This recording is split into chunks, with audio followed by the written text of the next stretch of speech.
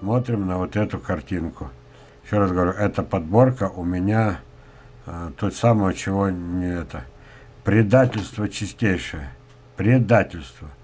Это когда известнейший, известнейший, самый известный журнал дает задание, вот, и художник рисует то, чего не может быть никогда, кроме попыток. Вот эти дебильные Почему дебильная? Красивая, но дебильная форма, видите? Видите? Почему? Сказать? Да потому что уже через месяц-два они исчезают, и их снова надо резать. Еще месяц-два снова исчезает. Все, вот здесь вот она сразу попрет все вверх. Вот это попрет все вверх. Вот это попрет все вверх. И у меня э, сколько, наверное, надо было отдельную передачу делать, ходить по саду и показывать. Я наклонил допустим, чтобы сделать снимок, как укрывать под снег персик, один наклонил, вот, он дал один урожай и вверх погнал. И что, всю, всю жизнь его калечить, так он быстро умрет. Вот это вот чистый дебилизм, то, что вы видите. Вот это вот э, нарисовано так, это чистая фантазия. Если бы они вот так вот замерли и каждый год давали урожай, не дождетесь. Полюбуйтесь на эту страхолюдину. Разве можно, это же подлость величайшая, иметь такой штамп. Чтобы вырастить такой штамп, нужно сделать 20-30 ран. 20-30 ран. Тут даже, по-моему, он даже пенечки еще оставил, нарисовал. Вот он, дебилизм. Вот как красиво. Под ним пешком можно ходить, не сгибаясь. Долго он просуществует. Сколько раз? Не лезьте, ребята, не лезьте. Вот это вообще, это вообще невозможно сделать. Она через, вся эта форма исчезнет буквально через два месяца. Это надо резать, резать, резать. Помните эти, эти дебильные э, таганрогские лодочки? Один придумал, наклонил деревья, получил шикарный урожай. У деревьев с наклоном градусов под 60. Получил шикарный урожай. Но ведь она э, дальше-то ветки все вверх попрут, не в бок. Их снова надо резать, резать. Но это таганрогская лодочка. Вы хоть знаете, где Таганрог-то находится? Ну, написала бы редакция. Таганрогская лодочка для Таганрогского района южнее на той же широте, но не северней. А в Таганроге был шикарнейший из тысяч сортов был этот самый сад-питомник. Вот. А я о нем узнал, и тоже из этого же журнала. И адрес там был. И написал я письмо туда. И получил каталог.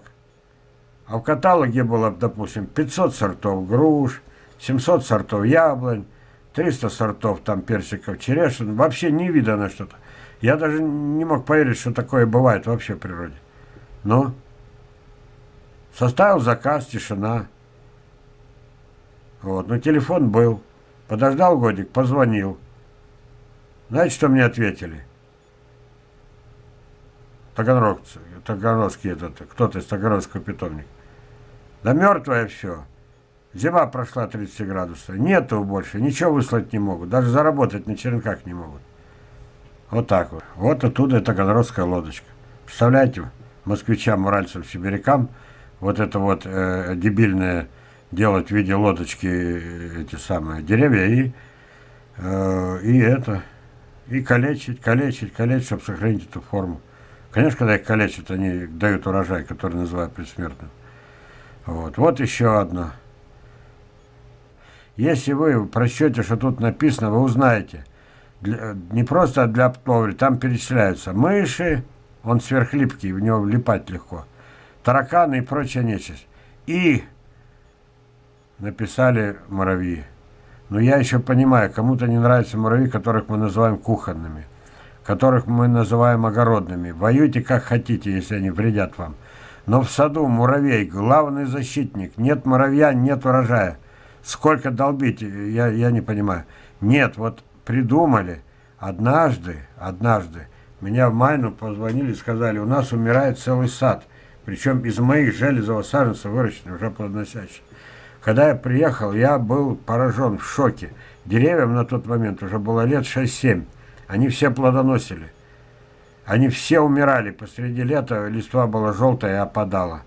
Прямо желтая, как ну, желтизна страшная. Вот. Я схватился за голову. Что это? Да мы клеем намазали. Каждый штамп был намазан клеем этим. Вот. У, уже давно он высох, уже давно по нему бегали снова муравьи. По своим же трупам бегали. Сколько они муравьев уничтожили. Чуть не сказал это. Нехорошее слово. Вот. Потом я глянул к соседям. Там все желтое. И через дорогу все желтое. Три сада было уничтожено им полностью. Вот там я сделал одну фотографию. Вернее, много. Вот только одна из них. Вы поняли, что такое клей этот дебильный? А потом, э, эта побелка, на черт она нужна, когда дерево уже мертвое. А? Вот что происходит, когда мозгов нет. Придумать такое. Намажьте себе на ноги. Ноги отгниют. Придется отпиливать. Это ж не просто клей, уже через него же уже кислород не проходит. Он же действительно сверхлипкий. Да, потом он засыхает, затвердевает, и как бегали э, муравьи, так и бегают. Но уже по мертвому. Уже по мертвому берегу бегают, по мертвому. Вы представляете, если я увидел в трех садах больше полусотни деревьев, которые уже не спасти, вот, а это было фотографии 10 лет этой назад было, я с ним столкнулся 20 лет назад. 20 лет назад я выписал его с дуру, потому что был такой же тупой. Но меня проучило как? Э, обыкновенная осторожность. Обыкновенная. Я его намазал на дички, еще не привитые, которых у меня там сотни, если не тысячи. 30 штук намазал. 30 штук мертвых. Клей выкинул. Я интересно еще как боролся с этими муравьями. Они действительно влипали, они гибли. А каждому этому саженцу я, это, я еще колышек подвязывал. Вот. Колышек тыкал и веревку подвязывал. Они давай по колышку. Умные, им надо наверх и все. Вот. По своим делам, по садовым. Они тоже садоводы, кстати. И вот они по колышку, по бечевочке, и смотрю, мостик налажен. А трупов почти нет, мало. Я колышки убрал. Вот тогда мои деревья уже окончательно погибли. И я понял, что я натворил. Но ведь я же 10 лет не молчал. Я, наверное, единственный в стране, который воюет со всем этим невежеством, диким, невероятным. Вот, страшным. Вот все, что вы выше видели, и вот это вот. Это тоже рынок, вот этот клей. Я очень надеюсь, друзья мои, передайте всем соседям. Не, это иначе невозможно, потому что рекламу не перебить. Ко мне вдруг в наглую приходит этот заказное письмо. Я-то человек известный. Но кто знает, что я ненавистник этого всего, э, э, э, этого предательства. Вот. Приходит, открываю. А там брошюрка по рекламе, это же клея, брошюрка. Вот. А знаете, что у меня до сих пор она лежит где-то, но я в одном письме цитировал. Знаете, как там было написано? Наносить на покрытие, ну там перечислялось картон, толь, которым обматывается дерево, или прямо на кору, вот эта подлость. Люди же читают, или прямо, на черта им надо это самое, возиться еще картоном обматывать, на картон мазать. Вот так вот. Извините за тон, извините за это. Ненавижу вот это все. Ненавижу не, не вот это вот.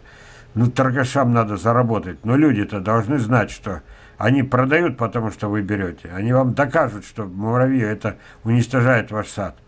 А они спасают.